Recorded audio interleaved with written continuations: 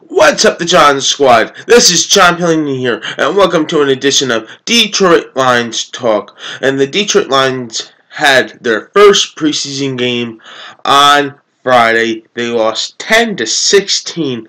I have to say, they didn't do they didn't do not too bad at all.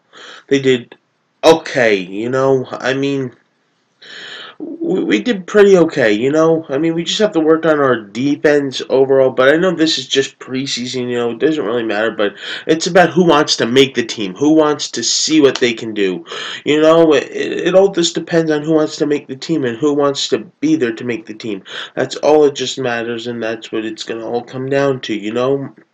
Uh, that's what it's all gonna seem, you know, because I think that um Matthew Stafford only got one play and then that was it, and then then Cassel went into the game and he took over the first the, the first quarter, then and the second, then Jake Rudock took over the third and fourth, and then I think that they both did pretty good overall, and uh, I think that it was just in a great game overall. And we lost ten to sixteen, though. Can't always win, but um, it was a good game though, so that's why. And I do believe in the Detroit Lions this season. I think that we, we have our backs up against the wall. I do believe in them, but you know, was, and LeGarrette Blount, he looked really great too out there. He looked amazing too. You know, I mean.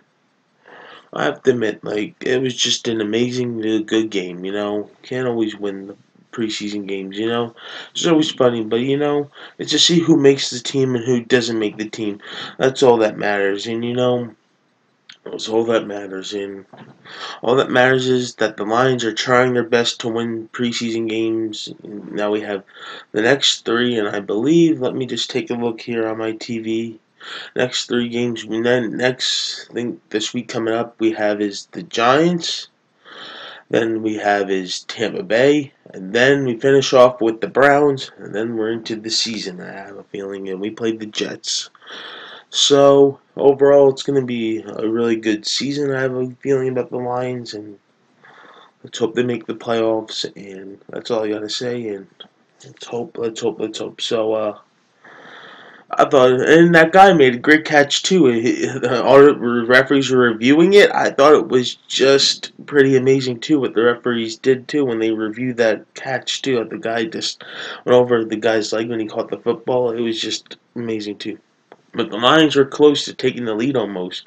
With 40 seconds left, you know, they were almost close, but unfortunately it didn't happen. But anyway, you know what I mean? It just doesn't always happen. But anyway, um, gotta always stay positive, man. It's always hard being a Lions fan, you know, but we just have to stick with the ups and downs, you know.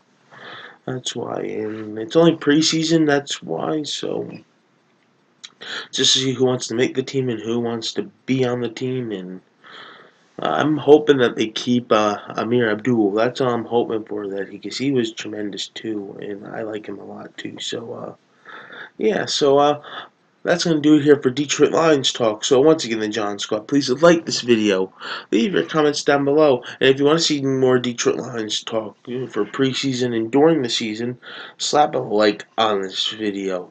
Leave your comments down below and subscribe for more. You're all the best at John Squad. You're one of a kind. Live each and every single one of y'all. And let's go Lions. Happy Sunday, the John Squad. Peace.